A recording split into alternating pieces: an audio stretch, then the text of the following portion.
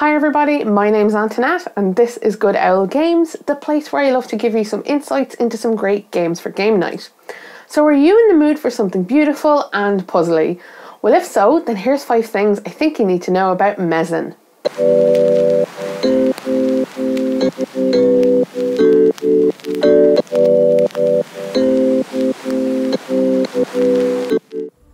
Mezen is a stunning tile matching game in which you're creating a painting. You'll start with a 5x5 grid and on a turn you remove tiles of the same animal type. Then slide down the rows and flip and replace the removed tiles at the top. By grouping the same tile icons together, you will achieve the goals. Play for 10 rounds to determine the winner.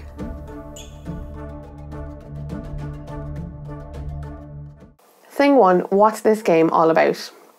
So, Mezen is an abstract tile laying game, um, one in which you are trying to create a painting. And this is because Mezen is a particular style of art in itself that's kind of inspired by the Mezen River. So, you are matching symbols and that together to create a painting of your own. So, it doesn't really have much of a theme, but it has a very kind of distinct voice and vision um, that kind of matches everything together nicely here. Now, similar games to this. Um, bizarrely enough, I'm going to compare it to something like Bullet Heart, which is kind of a match three puzzle game that where you match the symbols, um, the pieces above them kind of fall down into your grid, and that definitely happens here. But Mezen is definitely more focused on gathering sets and getting bonuses. Thing two, what kind of actions will you be performing on your turn?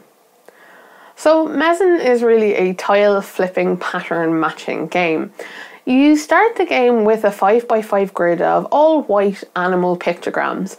And the aim of the game is to arrange these in such a way as to match the patterns that the game asks for each round. Um, so you'll always be able to see what goal it is for the next turn, but also for the goal for the turn beyond that, so that you can plan ahead accordingly. How you shuffle your tiles around is the crux of this game. So the first player will get to name an animal type and you're allowed then to remove all connected animals of that type from your board. And when you do this, you take them out, you slide down everything that was on top of them, a little like Tetris, and then you take the tiles that you took out and you flip them over to the other side, which is black, and put them into the top of your grid again at random. Um, and so the concept here really is you're shuffling around your board to match these goals, but you're not quite sure always what's on the other side of the other tile. Um, there are some ways to kind of mitigate which animals you can remove. There are amulet tokens, and you can use those to say, hey, I, I don't want that animal this round, I'd like a different one. But they also allow you to include or exclude kind of extra animals into whatever pattern you were thinking of removing anyway, which is kind of a nice touch. So you play for 10 rounds and the person with the most victory points wins. This game to me feels awfully familiar. I'm amazed I haven't played it before, but it's kind of fun and thoughtful and easygoing. Thing three on the table. So Mezen really is kind of something special set up. It's beautiful, it's kind of eye catching and vaguely Christmassy. Um, if anything, the game board for keeping your score feels more like an artwork than it really does for keeping scores. It's, it's almost unnecessary, but it is absolutely beautiful. And then you add in the fact that everyone has their own 5x5 grid of these beautiful pictograms, like the game looks really good. Those grids, however, I think are the things that take up the most space, but I don't think this is a particularly big game for your table either. I think you could fit this happily on most tables.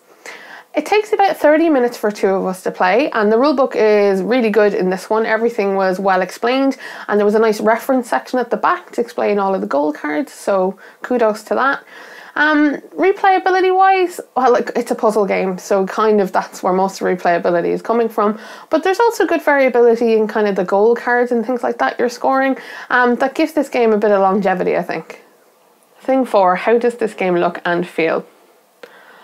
Well, for me, the art on this box is what really sold me. I took one look at it and uh, decided I had to play it.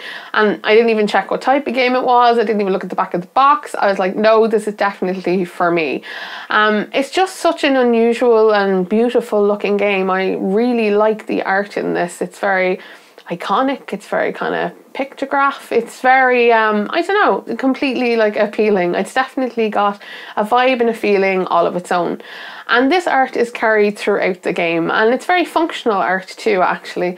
Um, I liked all of the different animals that are here, um, and I liked how it all kind of fits together into this kind of strangely illustrated world. Um, component wise, everything here is perfectly nice, but there's nothing special to kind of write home about. Um, in my mind, the art really carries this game, um, and that's not to say that there isn't a good game here either, but I think it's definitely that first port of call when you look at it. I think it's going to be the thing that draws you in. Um, overall, I suppose, yeah, I, I, I, when I opened this box, I, I went, wow, I was just so excited to see what was inside it and get out to play it and just enjoy how it looks. And I think it's the kind of game where you really will enjoy its distinctiveness. Thing five, is this game actually any good? It's clear that I really liked how this game looked right from the start, but the real question I suppose I have to ask myself is this game more style or more substance? And I'm rooting for the substance side because I do feel like there's a very solid little game in here. And it's one that we're kind of familiar with. It does feel a bit like playing Tetris sometimes as you kind of watch the pieces drop down and you're trying to connect them. But there is much more of a focus on set collection here, and I think that takes this game away from Tetris and to somewhere slightly adjacent. Um, what's interesting about the game as a whole is that there are only 10 turns, meaning you only get 10 actions. So each action is incredibly important, not just for now, but for the turn after, because you really do need to do a lot of planning ahead or setting up to be able to try and match some of these goals that come up. And of course, there are amulets um, to help you kind of make this easier at times. And I do really appreciate those. It feels like they give you a little bit more control over what's happening on your board. However, some of the game does feel a little bit like you have very little control whatsoever. So when you take out a tile and you, you flip it over and put it back at the top of your rows, you don't necessarily know what's on the other side of that tile at the time. Unless I was supposed to be memorizing them or something like that, but I definitely didn't do that. So there are choices where you, you feel like you've made a choice, but not really. And sometimes these are good things. Um, you can just kind of look into a particular situation that scores low the victory points, or of course, they could be negative as well and mess entirely with your plans. So this notion of agency, I think, is less strong than you would think initially. Um, but I don't think that's necessarily a bad thing. There's something about the random in this game that kind of levels the playing field a little bit because if you're in the right place at the right time, you can really just look into something good. And I think that means that you kind of have to think about this as a great family weight game because no matter anybody's skill ability, somebody can still have a really big turn one way or the other. And I think I kind of like that sense of appeal to the game. Um, overall, I had a lot of fun with Mezen. Um, I really enjoyed it. Um, the only minor complaint I have about it is actually how you're supposed to randomly shuffle your tiles that you've taken out of your board and are putting back at the top. It's very difficult to keep them in the right orientation while shuffling and also not to somehow sneakily look at them while shuffling and cheat a little bit. Um, I wish there was a better way to do that. Um, but beyond that, this game is easygoing, it's fun, it's interesting, and the choices um, well, I feel like they matter. I feel like they're important. I suppose you have to, don't you? Or otherwise, why are you playing? Um, so yeah, that's Mezen. Do I think you should have Mezen in your collection? Um, yeah, I kind of do. I really like this one. Um, it's just such an elegant visual little puzzle game um, that's not too long to play, not too much stress, and I think it's the kind of game you could probably play with a lot of people. So if that sounds like your jam, you should definitely go and check it out. You've been watching Good Owl Games. Why not like or subscribe to the channel so you can get updates about my future videos? Or if you have any comments or queries you'd like to make about Mezen, why not shout them off in the comment box below? And tune in again next time for some more, hopefully short and informative board game reviews.